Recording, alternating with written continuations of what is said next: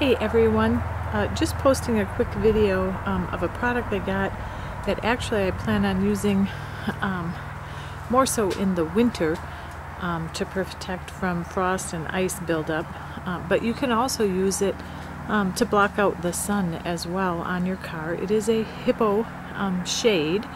It comes with um, the big shade that goes over the big front windshield, but then it also has two um, bags that one actually works as a storage bag. You can fold everything up and put it inside it and then and then pull the drawstring. But um, when you're not using it for a storage bag, it actually um, works to go right over your side mirrors um, to also protect them, to keep them from, or to keep them um, so that they are frost free.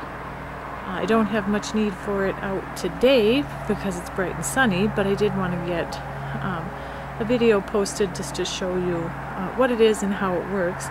Um, you can't see there is a strap though that comes out either side of the big shade.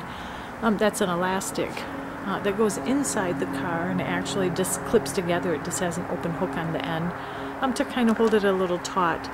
And then you can lock your car so nobody will take the shade off your car.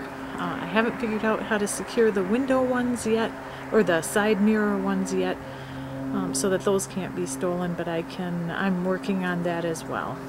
So just wanted to share this. Thanks everybody. Have a great day.